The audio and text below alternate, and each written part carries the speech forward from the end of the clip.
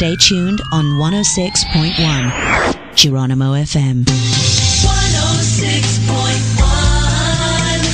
Geronimo FM. Today's headline.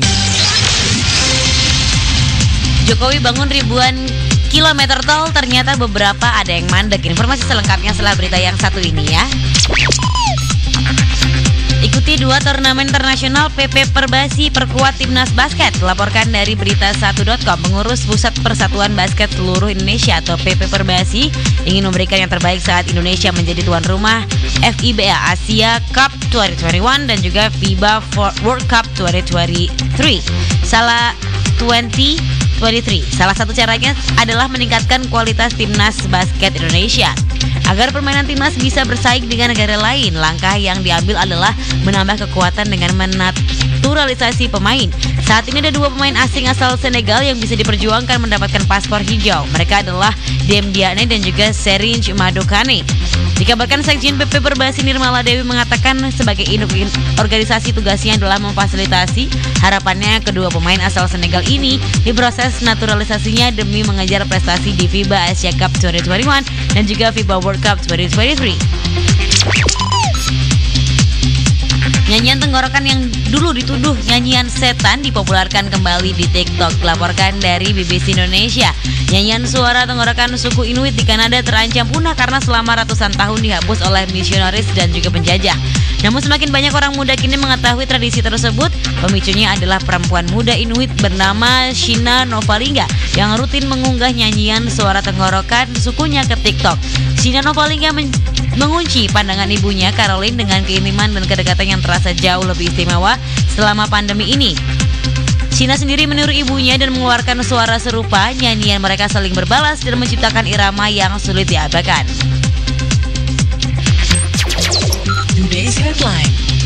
Kancah muda headline news untuk pagi ini. Jokowi bangun ribuan kilometer tol, ternyata beberapa ada yang mandek. Dilaporkan dari CNBC Indonesia, Presiden Jokowi membangun ribuan kilometer jalan tol sejak kepemimpinannya pada 2014, tapi ada saja proyek yang mandek. Tidak semua proyek jalan tol berjalan mulus.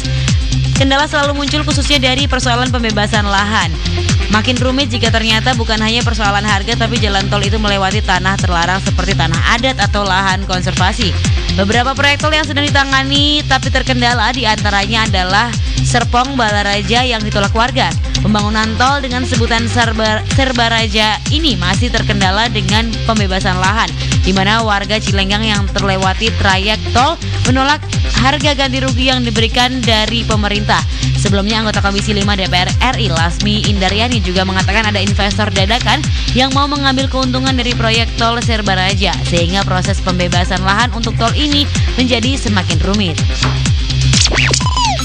Itu dari kancah muda tiga berita terkini di Tudas Headline. Sekarang kita lanjutin pagi kamu yuk di Good Morning Answers bangunin sahur. Today's headline. Geronimo FM. 106.1 Stay tuned on 106.1 Geronimo FM. Today's headline. 10 SD dan SMP Kota Jogja gelar uji coba PTM akhir April. Informasi selengkapnya setelah berita yang satu ini ya. Gunung di Malaysia nyalakan lampu merah putih ikut berduka musibah KRI Nanggala 402 dilaporkan dari Merdeka.com sejumlah bangunan di Malaysia kancah muda menyalakan lampu merah putih Senin 26 April malam untuk menghormati musibah kapal selam KRI Nanggala 402 beserta kru di perairan Bali dan menghormati keluarganya. Informasi tersebut diunggah oleh warga Subang Jaya, negara bagian Selangor Miskat Rahman melalui forum Skyscraper City Indonesia dalam akun Facebook Senin malam. Postingan tersebut menampilkan sejumlah bangunan dari foto Muh Azran Malek.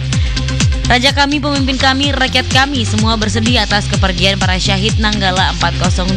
Sementara itu akun bola sepak Malaysia juga mengunggah dari Johor mengatakan lampu merah dan putih dinyalakan sebagai tanda penghormatan kepada kapal selam KRI Nanggala bersama 53 kru yang ditemui pecah dan tenggelam di perairan Bali. Peragaan lumba-lumba di Bali ditutup usai viral, dilaporkan dari CNN Indonesia. Aktivitas peragaan lumba-lumba hidung botol atau tour shops Adunkus oleh PT Piayu Samudra Bali di Pantai Mertasari, Sanur dilaporkan pada Selasa 27 April telah ditutup Balai Konservasi Sumber Daya Alam atau BKSDA Bali. Kasih Konservasi Wilayah 1 BKSDA Bali Sumarsono menjelaskan pihaknya sudah menandai kegiatan itu dengan spanduk penutupan kegiatan. Pemasangan pemasangan spanduk itu sesuai surat Direktur Jenderal KS DAE nomor S291 garis miring KSDAE garis miring KKH garis miring KSA titik 2 garis miring 4 garis miring 2020 Ditegaskan bahwa aktivitas peragaan lumba-lumba hidung botol PT Piayu Samudra Bali yang dilakukan di Pantai Mertasari telah ditutup dan ditandai dengan pemasangan spanduk penutup kegiatan peragaan lumba-lumba. Ini dia kancah muda headline news kita untuk pagi ini. 10 SD dan juga SMP Kota Jogja gelar uji coba PTM akhir April dilaporkan dari harian jogja.com 10 sekolah yang terdiri dari tingkat sekolah dasar dan sekolah menengah pertama atau SMP di Kota Jogja akan melaksanakan uji coba pembelajaran tatap muka atau PTM. 5 sekolah tingkat SMP yaitu SMPN 1 Jogja, SMPN 7, SMPN 8, SMPN 9, SMPN 15. Sementara tingkat SD yaitu SDN Margoyasan, SD Muhammadiyah Karangkajian, SD Lembuyang Wangi, SDN Serayu dan juga SDN Tegal Rejo 1. Menurut Wakil Wali Kota Jogja Heri Purwadi, secara garis besar seluruh sekolah di Jogja telah siap pelaksanaan PTM. Kesiapan ini terlihat dari guru dan tenaga pendidik yang sudah mendapatkan vaksin, penyediaan sarana prasarana protokol kesehatan dan lainnya. Menurut Kepala Dinas Kependidikan Pemuda dan Olahraga Kota Jogja, Budi Santoso Asrori, 10 sekolah di atas telah diverifikasi sebanyak tiga kali, yaitu pada bulan Januari, Maret, dan juga April 2021. Selain 10 sekolah di atas, ada pula sekolah lain yang mengajukan uji coba, namun saat ini masih difokuskan pada sekolah-sekolah tersebut. Itu dari Kanjamu dan tiga berita terkini di Tudas Headline. Sekarang kita lanjutin pagi kamu yuk ikut Morning Answers bangunin sahur. Today's headline. Stay tuned on 106.1 Geronimo FM. 106.1